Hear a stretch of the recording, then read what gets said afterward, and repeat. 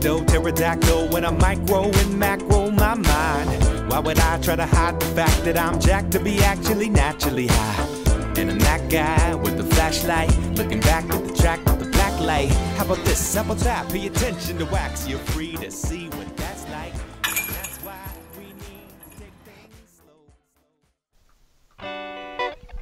All right. Ian Anderson, Central Coast Disc Golf. We're back with some more 2017 Iceland Solstice Showdown. Again, joining me, the one and only Nate Sexton. Say what's up, Nate.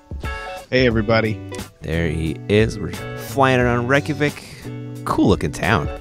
Oh, yeah, the best. I mean, I, I really hope that I can just at least, if I can get a flight that has a layover in Iceland, man, I'm getting out of that airport and checking that place out. Or Right. hopefully I can come play this tournament someday. Yeah, it looks like a really fun tournament, and uh, I'm, all, all, I know all the guys had a great time. Peter was just raving about all the, you know, all the hangouts and all the parties with the guys, and said they just treated him so well. Really cool to see. That's awesome. Yeah, and a beautiful country with a lot of fun sights to see. Uh, we're going into the last nine holes of round three. There also is a final nine coming up after this, so make sure you check that out.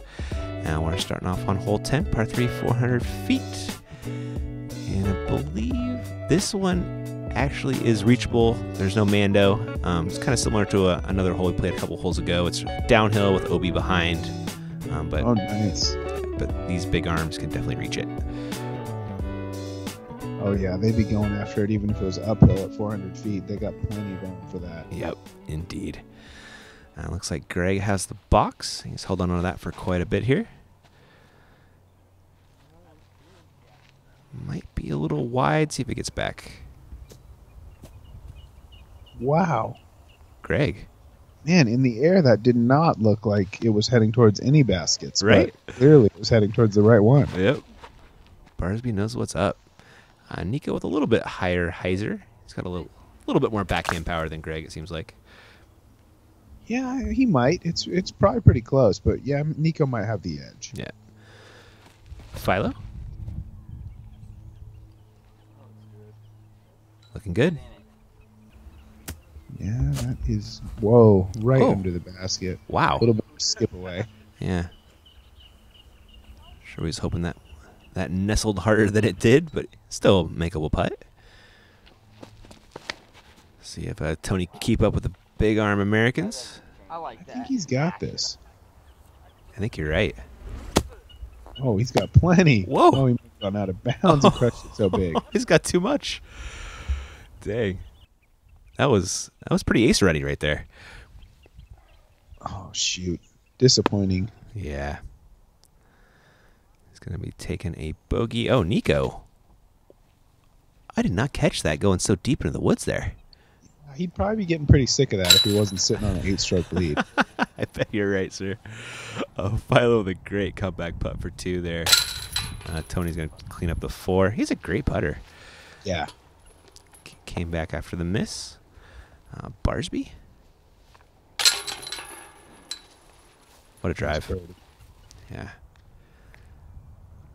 And Nico will be cleaning up the par, uh, but Greg gets a gets a stroke on him, taking that lead down to seven, I believe.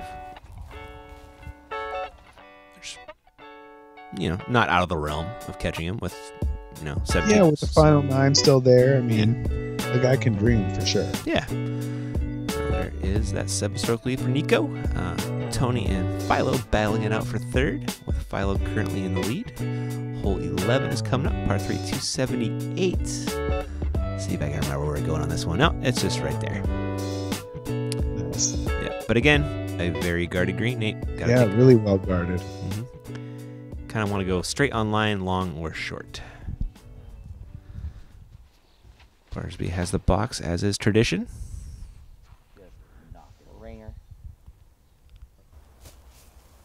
Perfect. Wow. Oh my goodness. He's dialed in. Philo? Get some. Nope. Uh oh. Yeah, that's going to be tricky. Yeah, He's a tall guy. He can straddle out a ways at least. Maybe he can find himself a line. this is true. Nico probably going Firebird if I had to throw a guess out there. And that's right behind the bushes, as Nico has has kind of had a habit of doing lately. It, it seems like it, huh? Tony looks to be also lining up a hyzer. Looks like that's going left as well. It's a popular spot over there, Nate. Yeah, Yeah. could be a little bit of wind, or you know, who knows? No, true. See if Tony can find a window through here. Branch. No. Uh, for a little bit. Oh, he's going with the forehand. D- d- does your forehand driving skill translate to forehand putting, Nate? Not at all. I hate it. I mean, a forehand from that short, Yeah. maybe five percent chance. I feel like it's so hard. So hard to throw it soft enough. Isn't it? Yeah, it's just. Look at this. oh, he split it. Yeah, right through there. That's beautiful. Well done, Philo. Only one of the three to get a birdie from that side. Oh, Greg's getting back with that left hand again. he is. I think you're right about the arm. I gotta think there's something going on. There's no way he wouldn't have tried one forehand yet. Yeah, yeah, you're right. He was kind of holding his arm a little, little gingerly. It looked like. Yeah. Yeah, his forehand is straight beast. He'd be using it if he could. Uh, we got hole 12, par 3, 288. Uh, it's dead straight little right finish. I remember a couple years ago, Greg got hurt at Worlds. I overheard him talking to, to Avery, and Avery's like, Greg, what happened, man? He's like, million throws. Just hit that million throw mark. yeah. Ran out of warranty. Yep. Yeah. Something snapped. That's Yeah. how it always is. The Yeah. day after you get to a million. Greg, he's got that backhand working, though. That green disc, whatever it is. Yeah. Go straight whole time. Philo? Woo. Nice shot. Yeah, that looked that looked a lot closer from the A cam, didn't it? Yeah, it did. It looked like it was going right past the band. Totally agree. Nico smashing a big old hyzer up there, which is what he'll do if you let him. And There's not much stopping you out here on this course. No, there really if, isn't. if there's not a Mando, I mean, you pretty much pick your line, whatever you're looking for. hmm Lets you kind of be creative and uh, hole. and use the y- your different spins to fight the wind in different ways. I would think. All right, nice throw from Tony. Definitely. Barsby coming back for the two. He's charging a little bit. He kind of is, isn't he? He's playing really well despite the that the forehand handicap. Tony makes another good putt. I believe Nico's up on this mound. Yeah. Nice putt. What are you feeling on knee putts from eleva- elevation? D- Do you go to the knee or do you just continue standing? Downhill? Yeah. Uh, probably not. Okay. I mean, I can understand someone doing it, but uh, but no, uh, unless it's like super severe, Uh huh. then then maybe. But even still, unlikely. It's kind of just worse balance. I feel like you know when you're already on a steep hill, you need to make sure you're getting that getting that solid base. I totally agree. I, I seem to see Paige Pierce do it a lot, randomly. Yeah, she's good at that. She does like to do that. Yeah. I don't know. It's all preference. Yeah. Whatever you practice too. Uh, hole 13 is on deck, par 3, 269. Uh, you got it right there. You got OB outside those stakes. And again, another guarded green. This one you want to go long, but not too long, so you don't go OB. I, I think I saw an Icelandic Mando barrel too. Oh, did you? I bet you're right. Oh, ah. on point, Nate. Wow, that's gonna cut it Oh. close though. Did he? He either missed the man. I mean, either way, he's out of bounds now. But that Yeah. may have missed the man Mando. Yeah, it was very close. I would guarantee a forehand from him if he was able. Right?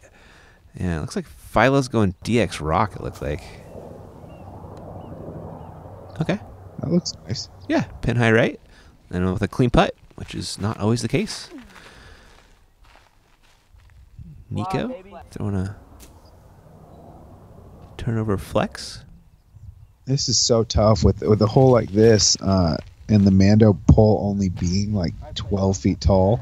Uh huh. Such a tough judgment call for a shot like Greg's. That's uh, that's kind of cutting it close because Mm-hmm. you know most shots are going to be flying higher than the top of that pole. Yeah, especially when you're throwing annies, right? Yeah, Uh, there is Greg's third. Hopefully that sat in bounds. looks good. Yeah, I think so. Hopefully he can make that comebacker for the four. Uh, we got Tony from the left-hand side of the fairway to the right-hand side. yeah. Okay. yeah. Uh, here's Greg's bid for a four. Uh, Wow, and that's going to be Greg's second double bogey of the round. I mean, he's had a lot of birdies, but it doesn't. It, you need a lot of birdies to absorb two of those. yeah, you do, especially with Nico playing how he has been. Oh, Oh, that was that was unphilo. oh, geez, putting disease has struck Oh. the group. Oh my goodness, what happened? Terrible affliction. Everybody has has caught it now. Dang, that was a quite the quick attack too. Everyone Yeah, was putting so well. they all fell apart. There's Greg cleaning up the five. That one hurts when you're trying to chase that guy uh, who cleans up his par.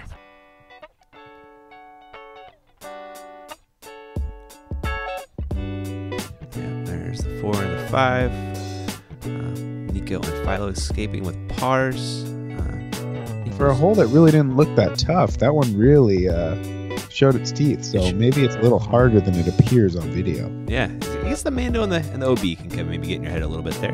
Definitely. Uh, I believe we saw a Mando there. You got to go right of. Oh my goodness, this one is a very hard hole. you got double Mando right here as well. Then you got to go throw up make it stick before it goes down the hill, and an elevated basket, Nate. Wow. Yeah. And this is the longest distance we've seen so far, too. Yep. We're gonna. Oh, believe that made the Mando. Um, Nice. first round, Nico drove long OB. Second round, he drove short OB. Hopefully, he can have the uh, the Goldilocks throw right here.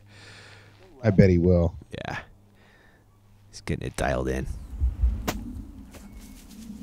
Ooh, pushing that long Oh. edge, perhaps. That looks close, but I I didn't see this the the graphic, so I think he's okay. A little more height here. Going to control the distance. Mm-hmm. Looks like he found the middle. He did. Perfect drive from Tony. And Greg. Hoping to come back from that double.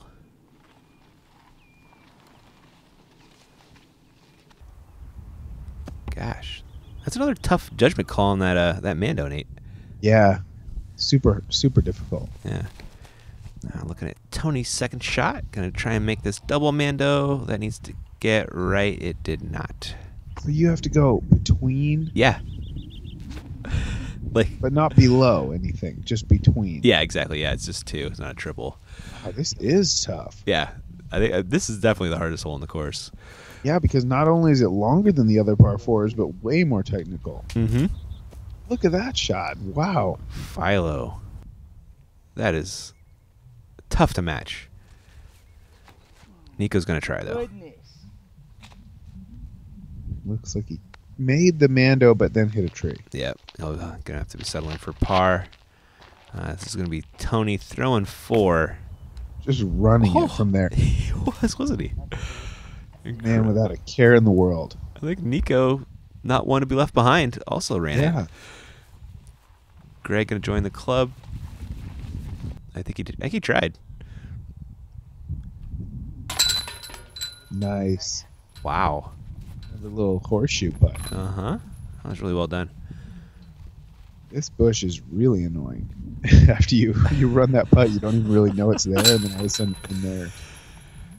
Got another fun stance, but Tony converts very well. Nico gonna try and match. Yep. Stuffed up that upshot. Nico with the par. Greg with the par. I believe Tony got a uh, a five. And uh, Philo. It was that close. Yeah, it was a beautiful shot. Oh my goodness. That's that's the first person I think has carded a birdie in this hole. In uh, in three rounds. Yeah. Well done, Philo. Uh, he's separating from Tony and actually getting pretty close to Greg here. Only two strokes back. Uh, hole 15 is coming up, guys. Par 3, 337. Oh my. I actually think this is probably the hardest birdie on the course. What? Watch where we're going here, Nate. Tunnel. Mando right there. Mando, which way? You gotta go right of it. Okay. And then basket tucked way down in here. Wow. And I believe there's another Mando you have to go left of too, so it kind of takes out the hyzer line. Oh man. So we'll see what they do. And there So is just yeah. So you basically just have to gut it all the way up there. yeah, which that's such a straight finish to be nearly impossible. Nico's gonna try, and uh, I don't think you're losing strokes with a par to really anyone on here, so it, it might even behoove you to play for that. Yeah, totally. Well, this is heading the wrong side of the Mando. It is. I believe Greg threw one of his eagles there, and it just did not get that eagle turn on it. I wonder if you could just kind of go like more of an overstable flex since there's no height restriction and just like Oh, yeah. Kind of go. It must be harder. It must be really tough. I, I, and I don't really quite see where the other Mando is, but you could go, you know, just up and over between the Mandos and sort of take the bushes out of play. Perhaps I don't know. Mhm. Actually, I think it's just to the right of this Mando that's on the left. Like it's just just to the Super right. Yeah, just to Philo's right here. Yeah, that would make it tough. Uh, Philo just lays up for the par. Nico gonna do the same, but found a tree. Around a little bit. Yeah, he's got not not a gimme par. He's got a putt coming up. Tony. Yep, Greg's going for another big number. he is, isn't he? That's he's already thrown. That's his He's fourth got shot. Another five on deck, I think. yeah, I think you're right. Oh, Tony, where'd your putt go? Oh, not this again. Oh, what is going on? All right, if Nico misses this, Oh boy. oh, he did. There it is. That's par. Have you ever seen the putting yips so contagious? Oh man, I've seen it, but I don't like to think about it. Oh man, that was something right there, and that is, I believe, a six for Mister Barsby. Unfortunately. Philo's gonna pass him. Oh, you're right. With a with a par, which it's a good good score on that hole. Look at that. That's a lot of red. Yep, there. Philo at a minus nine for the round, really putting together a solid. Wow, really sneaky too. Uh, Nate, we do have an island green here though. A Hole 16, Okay. Par three, uh, 229. Really plays to the forehand with the, the slope of the green there, and you can lay up off to the left there, kind of USDGC style, but nobody does it. I love the rocks. Yeah, they're cool, aren't they?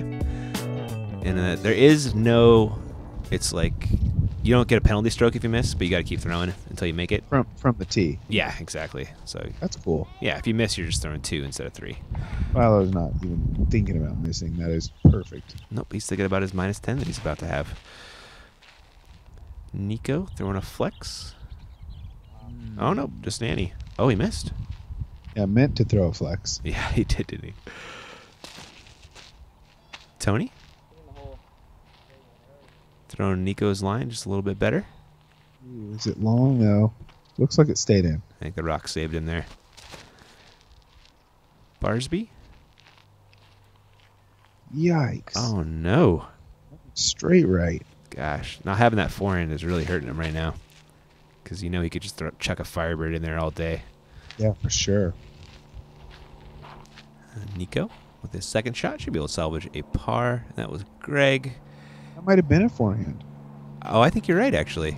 The way that landed. Mm-hmm. He might have said, turn the cameras off. I'm going to throw a quick forehand, even though my doctor told me not to. exactly. Good putt right there from Tony. Card to two. Nico, this will be for a par. Philo, with an absolute drop in. Posterized this hole, and Greg got out with a, uh, a par as well, I believe. Yep, there it is. Uh, Philo separating from Greg. That's second place now. And now Yeah. He's only eight back, Nico. Hole 17, uh, par 4, 508 at a dead straight off the tee. You want to have it finish right, and then we're going 90 degrees right for a ways, and then 90 degrees right again. You're almost playing backwards. Uh, Whoa. Yeah, it's a really interesting hole. You got OB if you go super long. Um, and then the basket is way tucked back in here, up on the side, and the the path is OB uh, where it's chopped Wow. out. Yeah, Crazy. interesting hole, right? Definitely. Yeah, really, really cool design. Bars. Maybe like a mid range off the tee. Yeah, yeah, it definitely feels like that. Although Philo should have dissed up or elevated it because you need- Yeah. need, to get over that berm to have a, a good shot on your second. I think there's some wind going on here, Nate. I think so too. A little bit of right to left, kind of knocking down that ante. Yeah. See what Nico's got Uh, in store for us here. Just needs to get down. Okay, I think that was good. I think so too. Lefty again.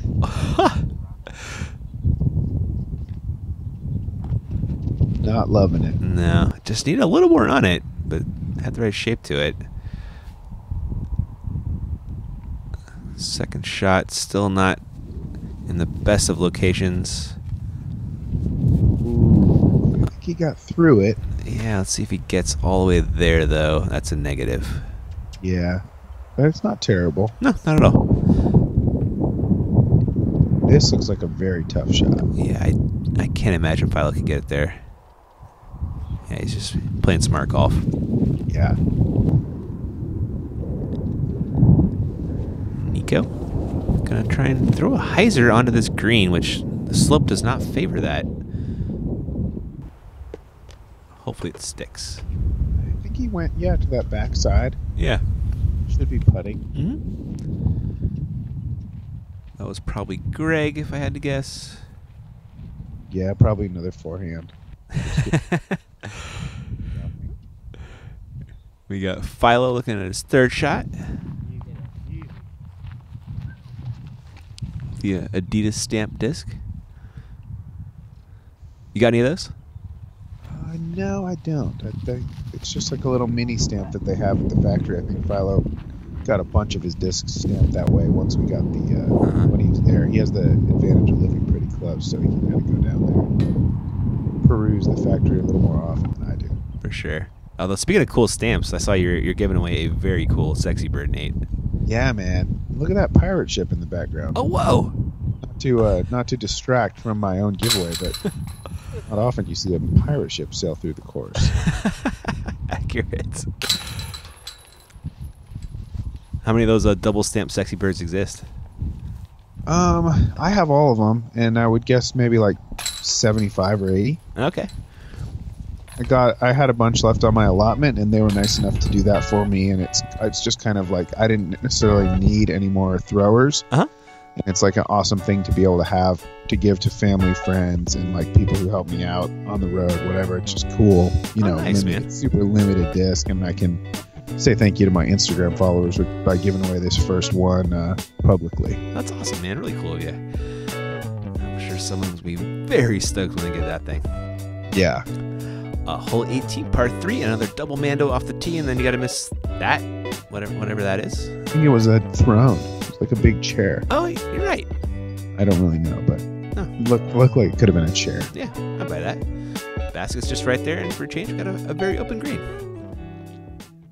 So, fire away. Yeah. Philo. Hmm, Guessing Firebird. Is it hooking up? Yeah. Oh man, Philo. Great round. Yeah, absolutely. Yeah, he had a, a really rough start. I think he only shot two down the first round. Amazing. I mean, he's he's like sitting at this is round three, and he's like maybe sixteen under, and he's like eleven for the round. So Uh-huh. he definitely something went wrong those first two rounds because clearly he's got the potential to be way lower. He does. Oh, Tony, that just skipped just a little long there. Hopefully, he can salvage a par at least. Nico Castro. Have you seen the Rose City Open from like 2009 on a, on Bullseye Nate? Um, I'm I probably played in it. Oh, you did, didn't you? Oh, uh, I just love how uh, Steve says Nico Castro. Kills me every time. Yeah, I think I, I might have even been on that in that group. I think you were actually now, you- now that I, I, I bring it up funnily like that. Uh, Tony's coming back for the par. Oh, Tony. We'll call that a headwind putt. Oh boy, that one too. Oh, yeah. Uh huh. Agreed. Swirly winds, swirly, swirly winds out there. a little bit of a dust double going on right there. Yep. Nico makes a nice two. Could be like a geothermal thing. You know how ice. Oh, yeah. That's right. I think that's how they get most of their power. Greg with a nonchalant drop in. Tony with a bogey. And Philo with a another birdie. Stacking them up this round. Yeah, really. Nice drive. Well done, Mr. Brathwaite. That was a fantastic round from him. And he's got a second place. Uh, pretty well separated now. Three strokes Yeah, he for does. Greg. Ten strokes over Greg on the round. Oh my Over goodness. Greg, incredible. Wow. Uh, Nico bit of an off round there with only a six down, but still holds on to eight strokes. And uh, that is all we got going until the final nine. We got Nico, Philo, Greg, and Toad. Toad. Do you know who that is? Yeah. I Oh, really? he's American. Oh, really? Oh, okay, cool. Right on. Well, that should be a fun final nine to watch. Uh, Nate, thanks so much for coming on, man. It's always always a pleasure. Yeah. Thanks for having me. Hopefully, do some more with you guys soon. Yeah, we'll hit you up. All right, guys. Well, everybody, thanks for watching, and we'll catch you back for the final nine.